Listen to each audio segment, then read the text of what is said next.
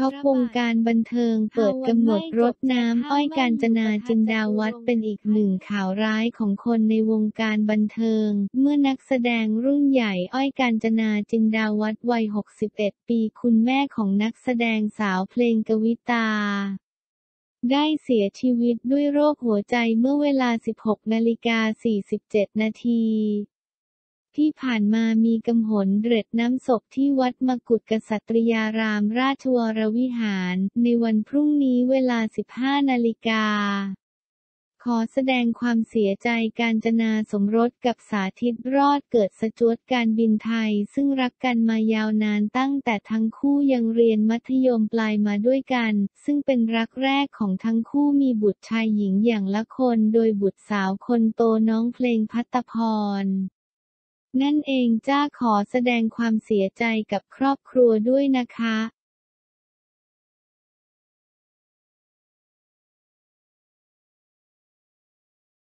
ถูกรางวัลสามงวดติดเลขพยาบึ้งข้างต้มโมกเงินหย่อยเลขลงรูขอโชคร้านเฮยร้านโด่งสุดยอดความอร่อยของหอยกระทะร้อนสุกี้ต้มเลือดหมูเมนูอาหารจานเด็ดจากฝีมือผู้ใหญ่บ้านที่เปิดร้านขายอาหารมานานกว่า 20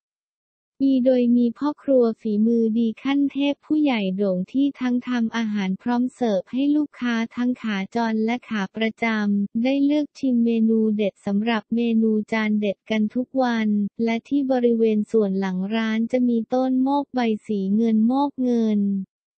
ขึ้นอยู่ติดกับรูพญาบึ้งที่ข้างต้นโมกเงินเชื่อมาให้โชคลาภลูกค้าที่มารับประทานอาหารไม่พลาดที่จะส่องเลขเด็ด เพื่อนำไปเสี่ยงดวงกันสำหรับเมนูจานเด็ดกันทุกวันและที่บริเวณส่วนหลังร้านจะมีต้นโมกใบสีเงิน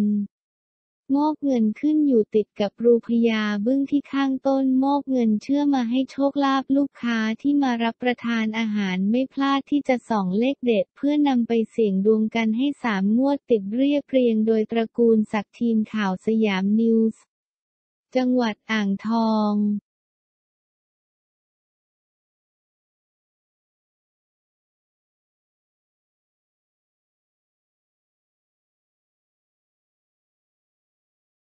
แต้วณฐพรงานเข้าหลังเจอชาวโซเชียลว่าแรง ภาพจากเทฟดี้ดัดดี้ภาพจาก taewaew ขีดล่าง natapohn ภาพจาก taewaew ขีดล่าง natapohn นอกจากนี้ยิ่งตอกย้ำความหวานเข้าไปใหญ่ เมื่อใน IG story ของไฮโซณัยกับสาวแต้ว ยังมีการโพสต์และแท็กถึงกันอีกด้วย เรียกว่าแฟนๆ ได้แต่รอลุ้นชมรูปคู่ของทั้งสองคนกันแล้ว ภาพจาก taewaew ขีดล่าง natapohn ก่อนหน้านี้ไม่นานไฮโซณัยประณัยพรประภาเพิ่งจะควงนางเอกสาวแต้วณฐพร ไปดินเนอร์เปิดตัวกับก๊วนเพื่อน โดยมีภาพมีหวานหวานผ่าน IG story ของเพื่อนสนิทออกมาให้เห็น ก่อนที่ทั้งคู่จะโพสต์และแท็ก IG story ถึงกัน แต่ยังไม่ได้มีการลงรูปของฝ่ายใด จนแฟนๆแอบลุ้นกันใหญ่หลังสาวแต้ว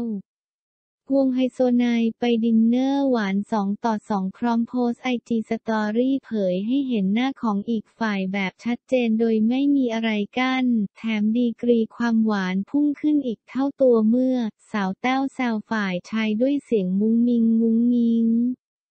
เปิดตัวหวานได้ใจชนิดที่อาหารมื้อนี้ไม่ต้องปรุงน้ำตาลเพิ่มเลยทีเดียว ภาพจากแทว่าอิวขีดล่างนาตาปอนต่อมาแต้วก็ได้พาครอบครัวไปทานอาหาร ซึ่งครั้งนี้นอกจากจะมีสมาชิกในครอบครัวอย่าง คุณแม่และพี่สาวแล้วยังมี ไฮโซไนนั่งข้างๆด้วยเรียกได้ว่าตอนนี้ไฮโซไนก็เข้ามาทำความรู้จักกับครอบครัวของแต้วแล้ว และดูเหมือนกว่าคนในครอบครัวจะไฟเขียวด้วย ภาพจากนิวนิวซิริงานนี้แฟนแห่คอมเมนต์ว่าพอได้ผู้รวย ขยันโชว์ทุกวันเลยเนาะรวยกว่าใหม่กว่าเปล่า ยุคนี้หาเงินเองมันเหนื่อยนะไหนจะโควิดไหนจะศกได้ผู้รวยมันช่วยได้นะถึงเราจะทำงานของเรา อย่างน้อยก็คอย support เวลาไม่มีได้ แก๊งไฮโซนี้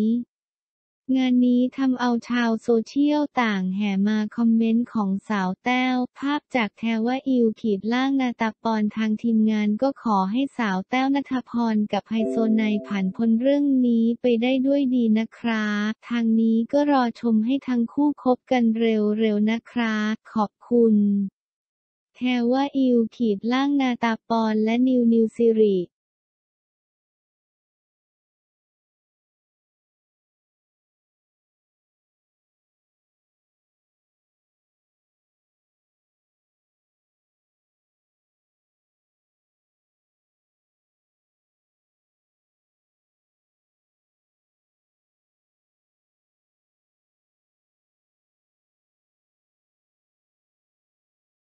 เอาแล้วไงป้าแตนโดนแฉแล้วลั่นเปลี่ยนไปมากจริง ๆ ล่าสุดวันที่ 27 สิงหาคม 63 ทีมข่าวลงพื้นที่หมู่บ้านกกอกไปพูดคุยกับนายม็อบสงวนชื่อนามสกุล สามีของนางนลินเปิดเผยว่าย้อนกลับไปเมื่อวันที่ 11 พฤษภาคม 63 ซึ่งเป็นช่วงเกิดเหตุเวลาประมาณ 9 นาฬิกา ขณะที่ตนและนางนลินกำลังขี่รถมอเตอร์ไซค์กลับก็เห็นแม่น้องชมพู่ลุงพลป้าแตนกำลังจับ GPS สวนยางของพวกเขาอยู่ตนและนางนลินจึงได้เข้าไปหาพวกเขาในสวนยางพูดคุยเรื่องจับ GPS ด้วย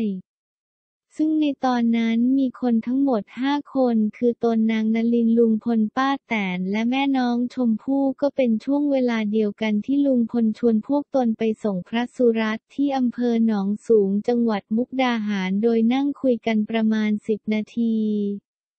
หลังจากนั้นก็ช่วยกันหยอดน้ำกรดที่จอดยาง แต่ไม่ทันเสร็จลุงพลกับป้าแตนก็ขี่รถมอเตอร์ไซค์กลับไปก่อน แต่นางนลินก็ช่วยแม่น้องชมพู่หยอดน้ำกรดอีกครู่หนึ่ง หลังจากนั้นตนและนางนลินก็เดินทางกลับ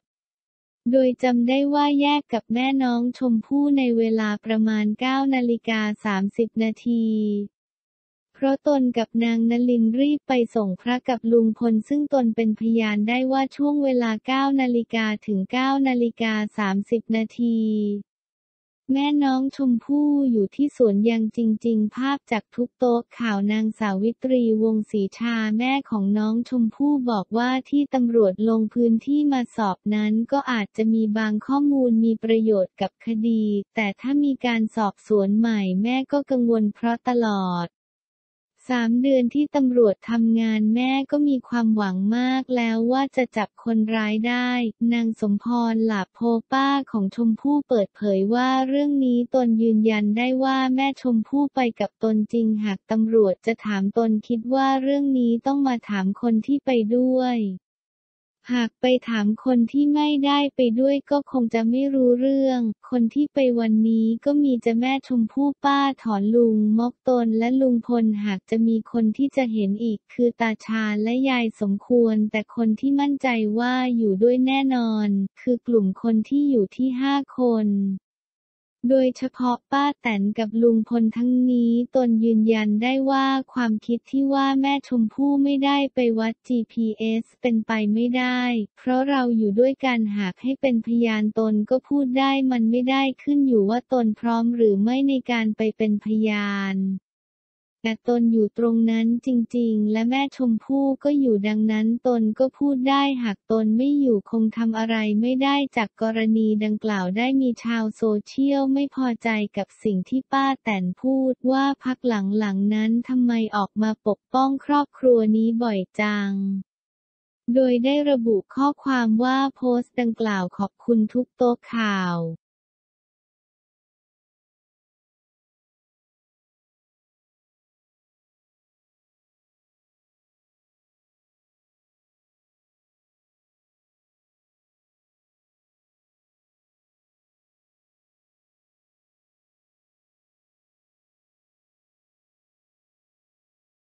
ด่วนตำรวจบุกหาพ่อแม่น้องชมพู่ล่าสุดกับนายม็อบสงวนชื่อนามสกุล สามีของนางนลินเปิดเผยว่าย้อนกลับไปเมื่อวันที่ 11 พฤษภาคม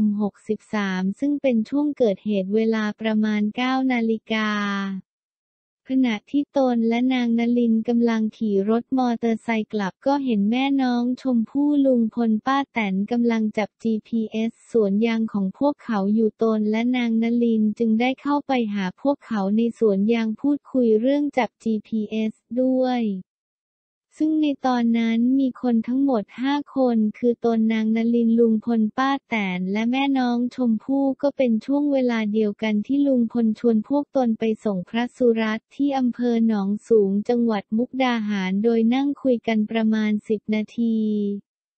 หลังจากนั้นก็ช่วยกันหยอดน้ำกรดที่จอดยาง แต่ไม่ทันเสร็จลุงพลกับป้าแตนก็ขี่รถมอเตอร์ไซค์กลับไปก่อน แต่นางนลินก็ช่วยแม่น้องชมพู่หยอดน้ำกรดอีกครู่หนึ่ง หลังจากนั้นตนและนางนลินก็เดินทางกลับโดยจำได้ว่าแยกกับแม่น้องชมพู่ในเวลาประมาณ9นาฬิกา30 นาที ราะตนกับนางนลินรีบไปส่งพระกับลุงพลซึ่งตนเป็นพยานได้ว่าช่วงเวลา 9 นาฬิกาถึง 9 นาฬิกา 30 นาทีแม่น้องชมพู่อยู่ที่สวนยางจริง ๆ ภาพจากอมรินทีวีนายม็อบยังบอกอีกว่าถ้าหากตำรวจจะมีการสอบสวนใหม่ทั้งหมดตนก็ไม่อยากให้สอบสวนใหม่ เพราะชาวบ้านก็คงจำรายละเอียดไม่ได้ทั้งหมด และถ้าสอบสวนใหม่ชาวบ้านก็จะเดือดร้อน เพราะไม่ได้ออกไปทำมาหากินอย่างไรก็ตามสำหรับการพักคดีนั้น หากไม่ได้หลักฐานอะไรตนก็อยากให้พักคดี แต่ถ้าตำรวจไม่พักคดีตนก็ไม่รู้ว่าจะทำอย่างไร เพราะมันเป็นหน้าที่ของเขานางสาวิตรีวงศรีชาแม่ของน้องชมพู่บอกว่าที่ตำรวจลงพื้นที่มาสอบนั้นก็อาจจะมีบางข้อมูลมีประโยชน์กับคดี แต่ถ้ามีการสอบสวนใหม่แม่ก็กังวลเพราะตลอดสามเดือนที่ตำรวจทำงาน แม่ก็มีความหวังมากแล้วว่าจะจับคนร้ายได้ กรณีเมื่อวันที่ 21 สิงหาคม 63 ที่ผ่านมารถของตำรวจชุดสืบสวนเป็นรถโตโยต้าเวลไฟได้ติดหล่มภายในหมู่บ้านกกกอกและนายอนามัยวงศรีชาพ่อของน้องชมพู่ ได้ใช้รถไถเข้าไปช่วยลากขึ้น โดยในวันเกิดเหตุนั้นฝนตกมีน้ำท่วมขังเนื้อดินเหนียวมีความลื่นขนาดหลุมความกว้าง 1 เมตร ความยาว 2 เมตร ความลึก 15 เซนติเมตร ซึ่งพ่อน้องชมพู่ใช้รถถลากรถของตำรวจ โดยใช้เวลาแค่ 5 วินาทีก็สามารถลากขึ้นมาได้นางสมพรหลับโพป้าของชมพู่เปิดเผยว่าเรื่องนี้ตนยืนยันได้ว่าแม่ชมพู่ไปกับตนจริงหากตำรวจจะถาม ตนคิดว่าเรื่องนี้ต้องมาถามคนที่ไปด้วย หากไปถามคนที่ไม่ได้ไปด้วยก็คงจะไม่รู้เรื่อง คนที่ไปวันนี้ก็มีจะแม่ชมพู่ป้าถอนลุงมกตนและลุงพลหากจะมีคนที่จะเห็นอีกคือตาชาญและยายสมควร แต่คนที่มั่นใจว่าอยู่ด้วยแน่นอน คือกลุ่มคนที่อยู่ที่ห้าคนโดยเฉพาะป้าแตนกับลุงพลทั้งนี้ตนยืนยันได้ว่าความคิดที่ว่าแม่ชมพู่ไม่ได้ไปวัด GPS เป็นไปไม่ได้ เพราะเราอยู่ด้วยกันหากให้เป็นพยาน ตนก็พูดได้มันไม่ได้ขึ้นอยู่ว่าตนพร้อมหรือไม่ในการไปเป็นพยาน แต่ตนอยู่ตรงนั้นจริงๆ และแม่ชมพู่ก็อยู่ดังนั้น ตนก็พูดได้หากตนไม่อยู่คงทำอะไรไม่ได้พันตำรวจเอกชัดชัยวงสุนะรองผู้บังคับการตำรวจภูธรจังหวัดมุกดาหารบอกว่า ตำรวจก็ไม่เคยออกมาพูดหอระอือ เปิดเผยข้อมูลส่วนนี้จึงอยากวอนให้ทุกฝ่ายที่สนใจในคดี รอการถแถลงผลของการสอบสวนของตำรวจ อย่าไปหลงเชื่อบางข้อมูลที่ไม่มีที่มาที่ไป ขอบคุณที่มาจากอมรินทีวี